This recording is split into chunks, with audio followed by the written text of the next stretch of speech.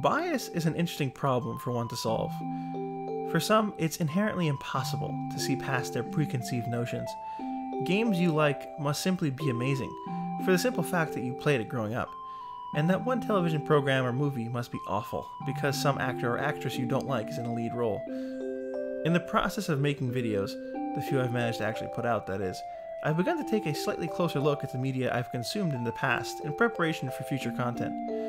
One such game I ended up revisiting recently is one of my favorite games ever made.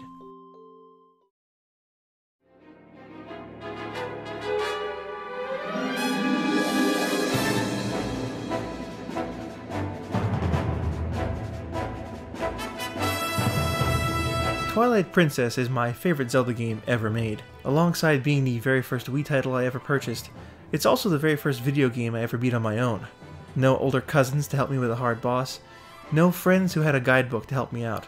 No, it was just me, that stupid nunchuck, and my gumption. But my goal today is to look at this beloved game from multiple perspectives, rather than just my own. Look at the game for what it is, not what it is to me. Does that make sense? I hope so. Today we're going to talk about Twilight Princess, see what it did right, what it did wrong, and maybe compare it to some of the heavy hitters of the franchise. In this episode of Topic Change,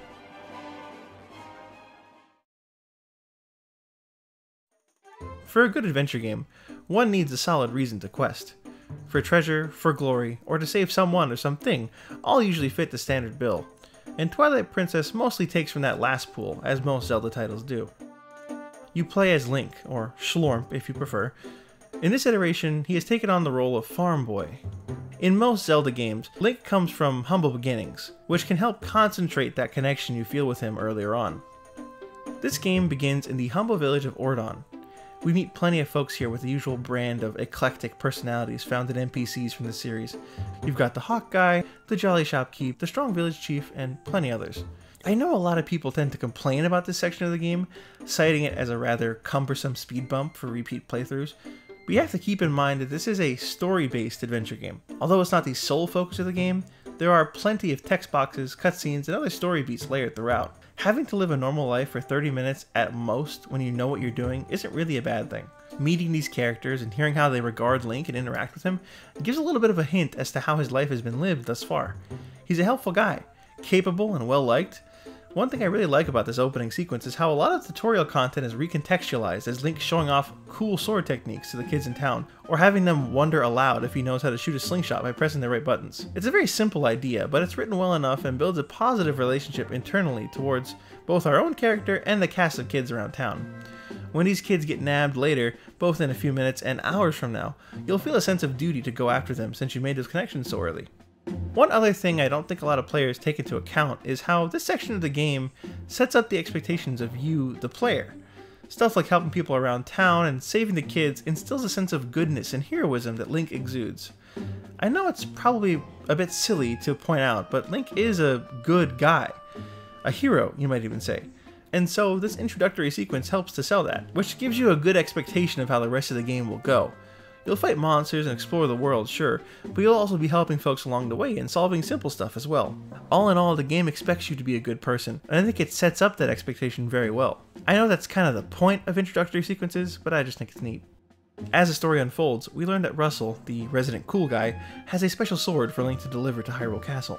It's a simple cutscene, but it sets your expectations up in a fun way, you're gonna head out on a cool adventure. Maybe you'll run into some beasts on the way, and I bet Zelda will say something like, That sword is for the legendary hero, and that's you! But you don't get to leave the village the way you'd expect. No, something sinister comes for a visit first.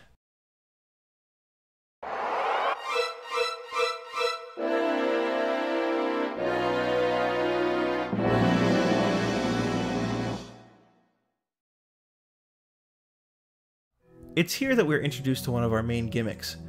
Link is cursed with a sort of werewolf type transformation, but rather than becoming a hulking beast, he simply is a wolf.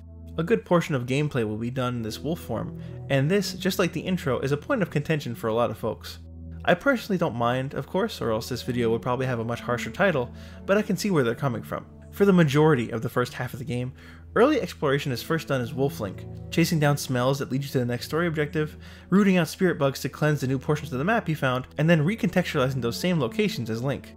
It lets them reuse spaces they've already created in a way that doesn't feel too cheap, and makes retracing your steps during these portions have a unique purpose alongside the standard backtracking you'll end up doing later for collectibles. This, to me, is a positive, but something that informs the issue is the difference in how gameplay is presented to you. While the two versions of Link play in a generally similar way, their goals are noticeably different. Playing as Link is about exploration, solving puzzles, and fighting monsters. And while Wolf Link has those elements too, the overarching point of being Wolf Link is to stop being Wolf Link. Since you're cursed to be a wolf, it infers a negative connotation. It's not an epic transformation where you gain immense power. It's treated more like a debuff or something of the sort, especially this early on.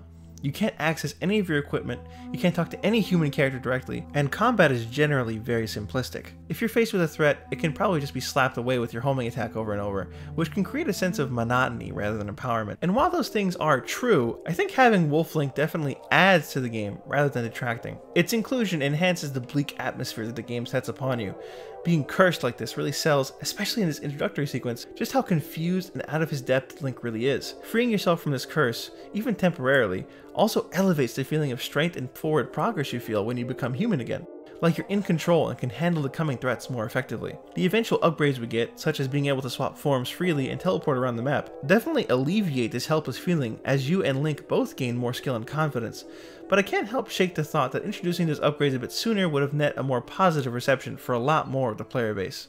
Well, since we're on the subject of positive receptions.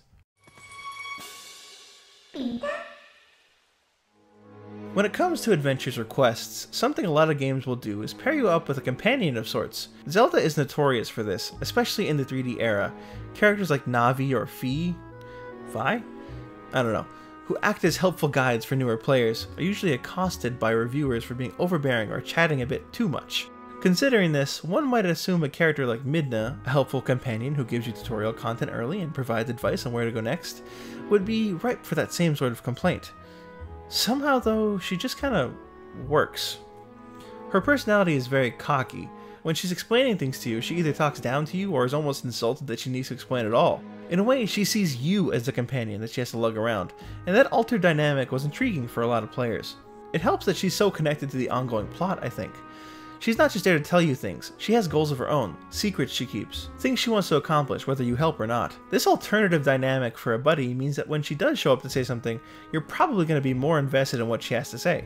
I'm not one of those people who ever hated Navi or anything, but there's a clear evolutionary line you can follow on characters that fill this role from Ocarina of Time onward, with the best iteration honestly being right here. So, you take a contentious gimmick in Wolf Link, and combine it with one of the better written buddy characters from the library of Nintendo games, and you're left with a pretty nice mix. You need each other to move forward in your respective quests, and despite her teasing, you decide to team up and move through this strange, dilapidated place you find yourself in, and out into the wider world. As with most sword-toting adventures, Zelda games feature plenty of exploration, and this game is certainly no exception, but how well does the moment-to-moment -moment gameplay hold up? In all honesty, there's not too much to say about the basic exploration. You can move in any direction, interact with things, swing your sword around, yada yada. The Wii version, which is arguably its original intended version, features motion-controlled menuing and aiming. And sword swings are tied generally to the direction you flick your remote in. A vertical swing of some measure will earn that as your first attack, and a horizontal one will do much the same in the opposite way. For being a Wii title though, it never really felt necessary or even central. You're holding a Wii remote, sure, and you're making motions, but it kind of felt like an afterthought, a necessity of being on the console. The successor to this game, Skyward Sword, feels much more tightly connected to the concept, motions made are nearly exact, and plenty more of the items on offer actually utilize the feature. The GameCube and Wii U releases of the game feel much more like the definitive versions to me. You still have directional sword swipes, but they're tied to the angle you hold the control stick, which feels much better since the lack of visual feedback isn't as harsh. In regards to the other items and abilities in your arsenal, there's some pretty fun ones available to you, with the coolest ones being new takes on classic gear. The Gale Boomerang is a really neat way to power up a long-standing staple, and the ability to make bomb arrows provides a cool way to use two items in tandem. My personal favorite remixed item is the double claw shot. Rather than flatly extending the range of the hook shot, they instead let you dual wield. It opens up the ability to make some visually interesting and fun challenges involving snappy movement from one wall divot to the next. Alongside those fun options, however, are some rather odd picks. As much as I love the ball and chain and the Beyblade, it really feels like they had one or two solid ideas for them and then pretty quickly fizzled out. There's hardly anywhere meaningful to actually use these items outside their own dungeons. The last thing I'll touch on in this section are the hidden skills, taught to us by a mysterious skeletal warrior whose presence can only be summoned in Wolf-Link form. These abilities open up your options during combat by unlocking special attacks. I think this was an excellent addition, and much like the upgrades you get in wolf form by being able to teleport, the hidden skills enhance the aspect of learning what it means to be a hero through the fact that you're literally learning from a former hero. Originally, I was going to spend a bit of time complaining that the game doesn't utilize them well, but I think, in actuality, their inclusion in the combat loop is very nicely tuned. Even if they didn't have a major gameplay effect, they're all animated well, do nice damage, and are easy enough to pull off in the midst of combat that there's no reason not to use them once or twice once you've unlocked them. The Backslice and Mortal Draw are my two personal favorites, though I'm sure I'm not alone in that regard.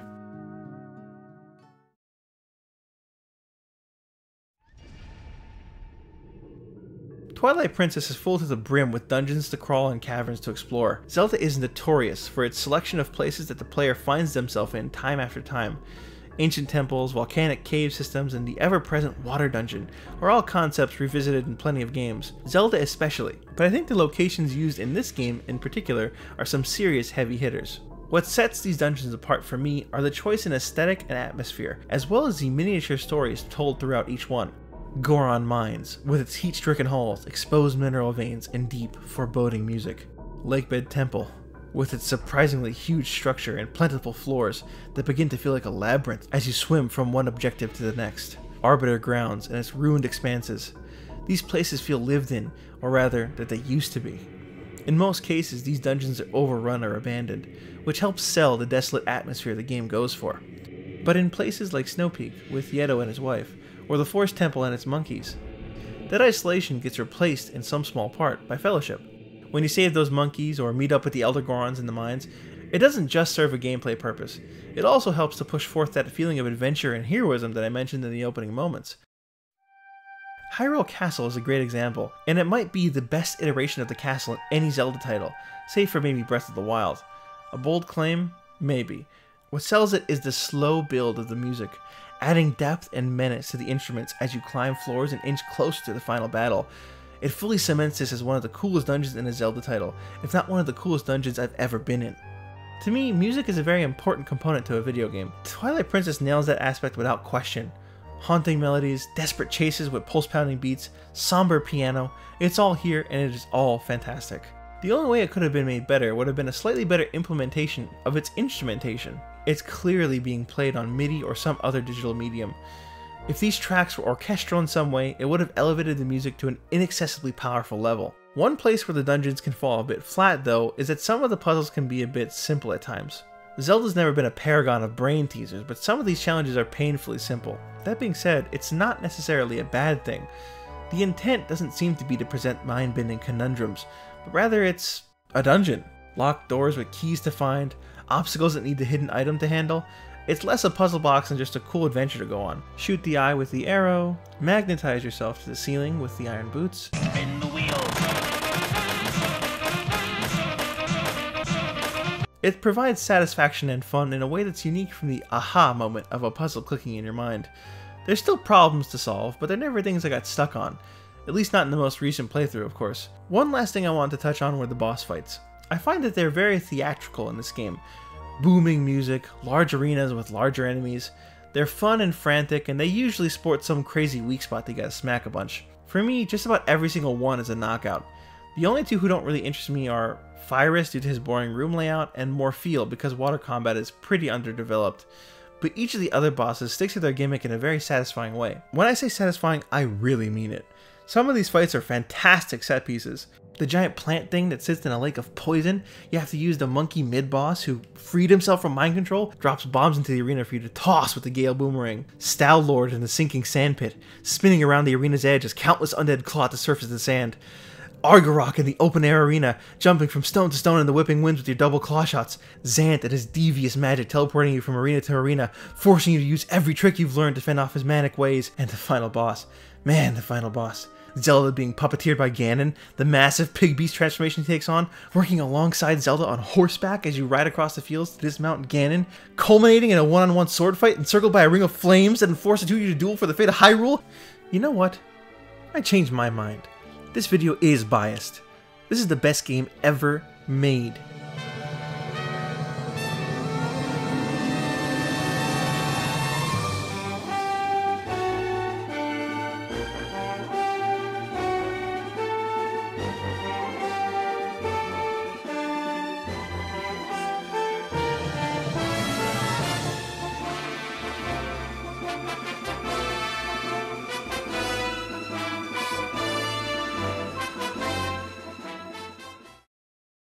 Anyways, you'll probably notice that I kept a lot about this game pretty vague, and that's because I really think you need to enjoy this game yourself if you haven't.